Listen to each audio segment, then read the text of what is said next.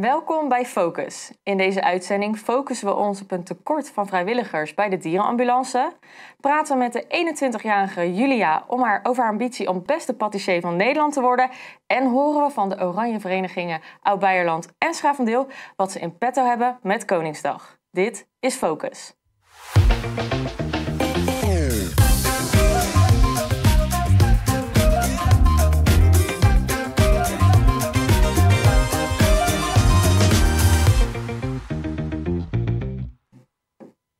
Op 27 april is het weer Koningsdag. Tijdens deze feestelijke dag wordt er weer van alles uit de kast getrokken om er in elk dorp weer een feest van te maken. Zo ook in Oud-Beierland en Schravendeel. Claudia de Geus en Conno van der Heijden zijn actief bij Oranje Verenigingen.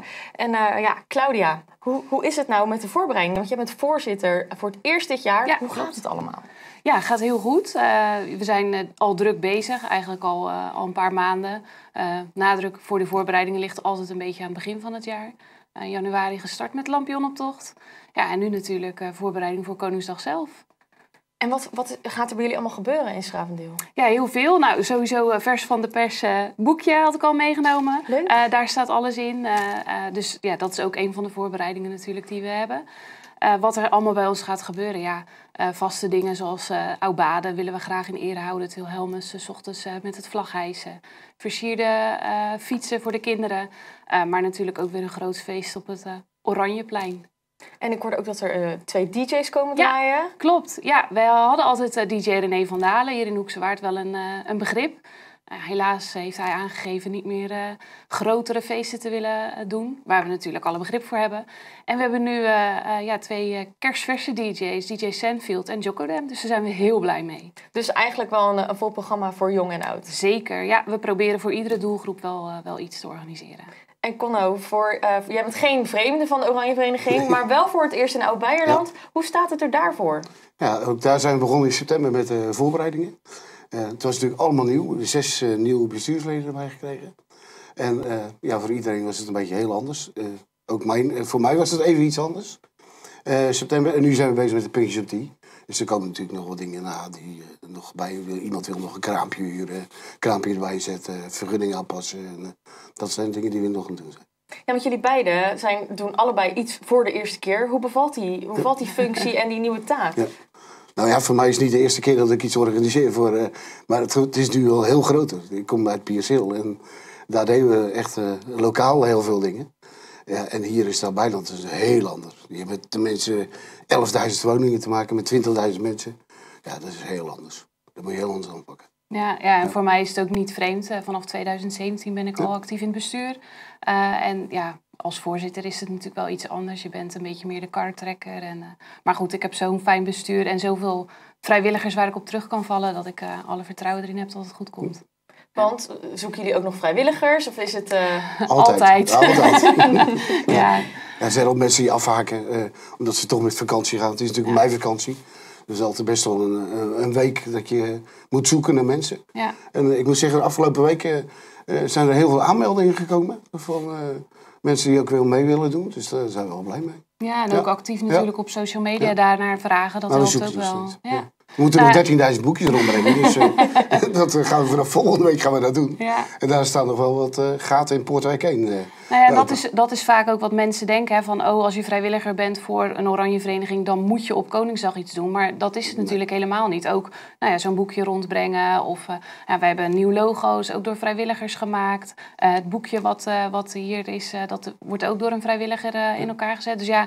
Op, op de achtergrond kan je ook heel veel uh, vrijwilligersdingen doen. Uh, zonder dat je op Koningsdag zelf echt actief aan de bak moet. Dus inderdaad een beetje het voorwerk, daar is ja, ook nog genoeg Daar is heel veel hulp bij, bij nodig. nodig. Ja. Want um, ik hoorde... Er zijn best heel veel mensen natuurlijk die willen best wel wat uh, ja. organiseren en meehelpen.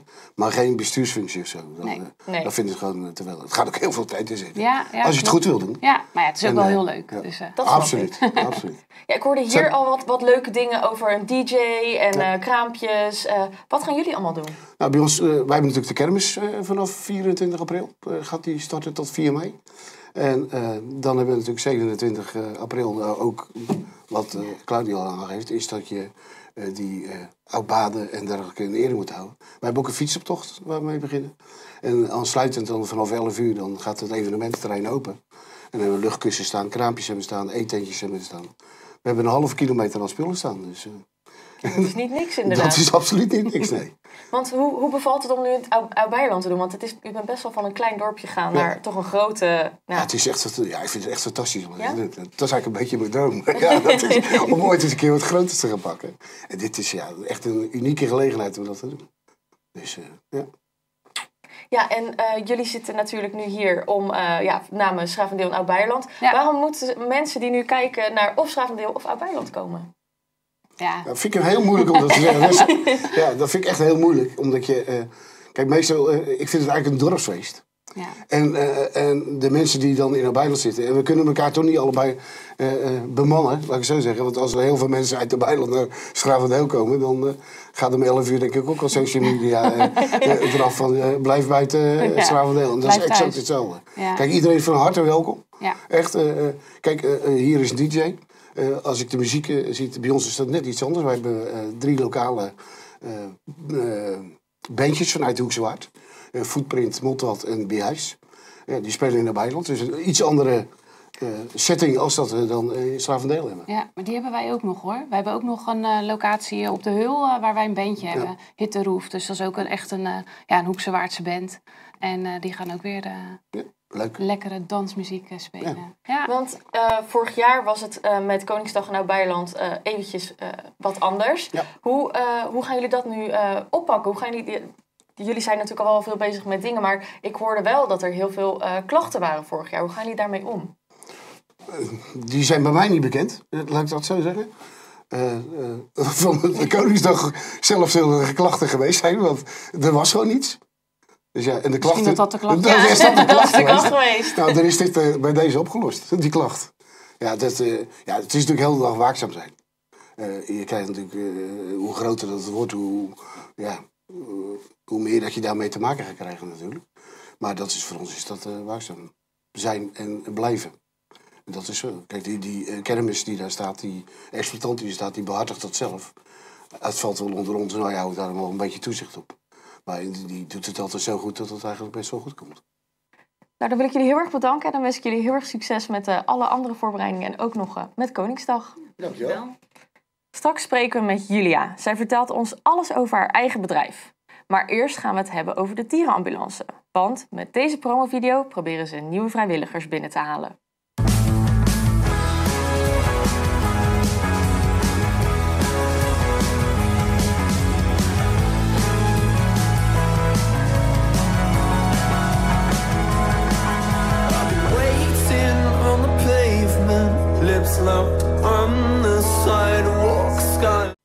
Ja, jullie hebben nu zo'n 35 vrijwilligers, maar nog steeds handentekort. Hoe kan dat?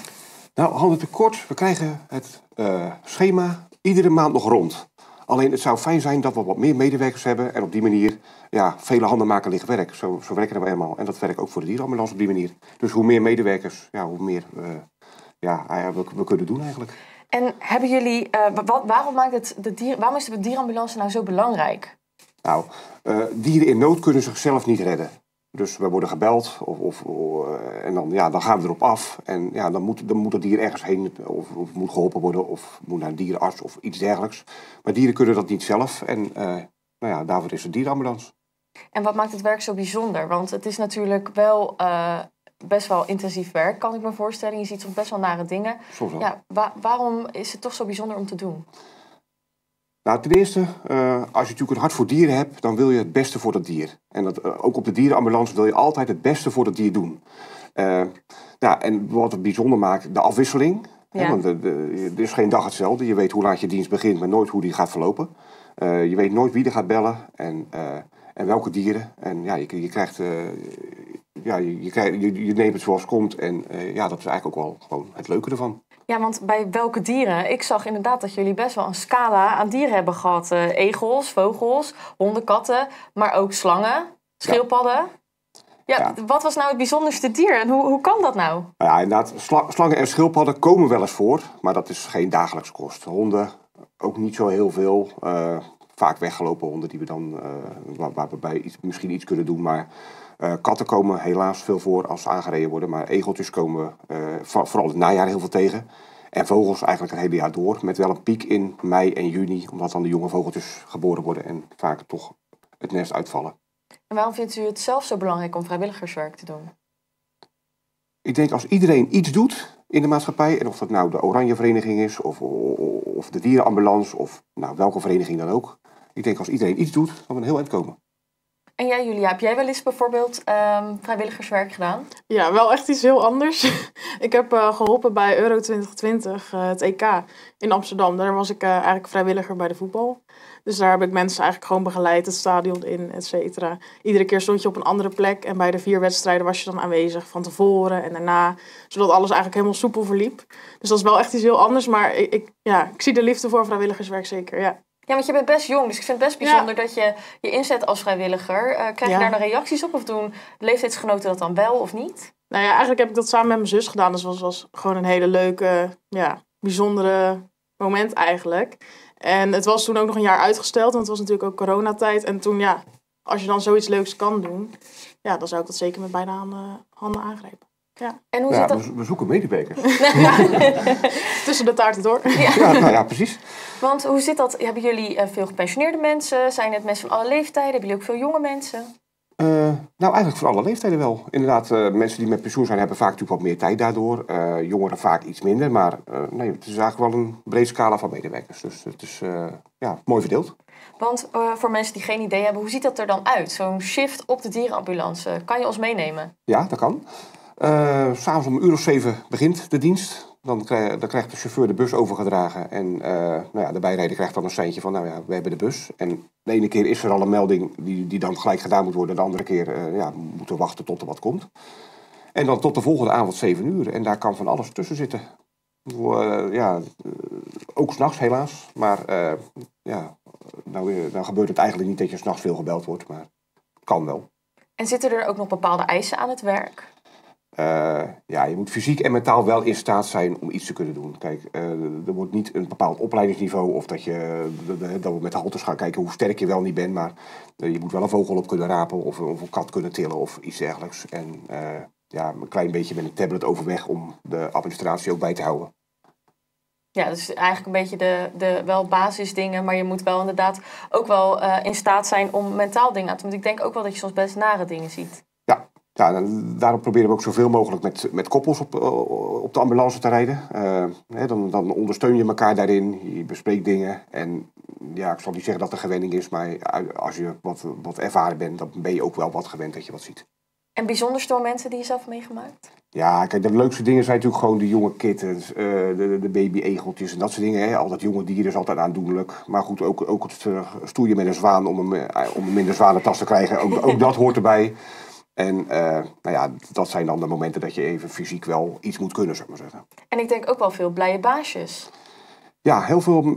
Nou, de baasjes, eh, ja, die spreken we ook natuurlijk uiteraard. Die, die zijn heel blij als we inderdaad een dier, eh, zeker als we ze onge- ongeschonden terug kunnen brengen. Zijn ze natuurlijk heel blij, maar ja, ook gewoon mensen die gewoon ons bellen en dat we even een vogeltje in de tuin opkomen halen. Ja, die zijn gewoon zo dankbaar dat we dat even dat, dat, dat, dat werk doen. Dus het is gewoon echt, ja, de dieren zelf kunnen het niet uiten, maar de mensen om ons heen die uiten het echt wel. En mochten mensen nou geïnteresseerd zijn, waar kunnen ze zich, ze zich dan aanmelden voor dit eh, vrijwilligerswerk? Dat is eh, info, apenstaartje, dierenambulancehw.nl. Nou, mocht u zich dus geroepen voel- voelen, dan kunt u hier zeker vrijwilligerswerk doen. En dan gaan we verder met Julia. Ze heeft namelijk de ambitie om de crème de la crème te worden van de Nederlandse bakwereld. En haar taarten werden bekroond met het winnen van de regio-kampioenschappen. En ook een derde plek bij het NK Patissier voor de jeugd. Sinds kort heeft zij vanuit haar ouderskeuken haar eigen bedrijf. Julia, wat maakt bakken nou zo leuk voor jou? Ja, het is toch denk ik wel de glimlach eh, die ja, ik op mensen gezicht krijg als ze de taart opkomen halen. Of ja, als ik gewoon echt helemaal hun idee, hun droom, of ook van kindjes, van verjaardagstaarten, dat ze iets tekenen soms. Ik krijg wel eens tekeningen door de brievenbus. En dat ik dat dan na wil maken in een taart, ja, dat is toch wel het mooie van het vak, denk ik. Ja. Want hoe ben je ermee begonnen? Ja, het is eigenlijk sinds vroeger wel ehm, eh, ja, begonnen. Eh, sinds dat ik zeven jaar was, begon ik eigenlijk eh, bij mijn oma in de keuken samen kwarktaart of appeltaarten te maken. Vond ik altijd wel heel leuk. Ehm, ja, daarna eh, heb ik op het Welland College gezeten. Daar had ik de kookklas ook gevolgd. Hadden we ook van die taartworkshops toen. Ja, ik was eigenlijk al heel snel verkocht in het vak. Ehm, dus toen heb ik ook de kookles inderdaad gevolgd, foodles, et cetera. Nou ja, toen wilde ik heel graag patissier worden. Daarvoor had je eerst de brood- en nodig om het patisserie te gaan doen. Mhm. Dus dat heb ik drie jaar gevolgd op het Stadskien in Rotterdam. Toen heb ik nog de banketbakkerskant eigenlijk gekozen. Omdat ja, brood spreekt me toch iets minder aan. Ik vind nog eh, ja, de gebakjes wel wat leuker. En toen uiteindelijk kon ik, eh, na de drie jaar, kon ik eh patisserie gaan doen. Nou ja, daar had ik dus ook van school, dan organiseren ze van die wedstrijden. De regiowedstrijd heb ik toen gewonnen. Dan moest je een heel, ja, eigenlijk een showstuk maken. Mocht je zelf kiezen. Ik had een heel chocolade etagère gemaakt. Moest je ook allemaal zelf maken. Twee friandises en een chocoladebar. Dus die had ik toen gewonnen, was ik de eerste. En toen werd ik eigenlijk geplaatst voor het NK. Dus dat was allemaal heel spannend. Ik moest heel veel oefenen op school. Eh, toen mochten we helemaal naar Wageningen. Had ik daar de wedstrijd. Eh, en daar ben ik derde geworden.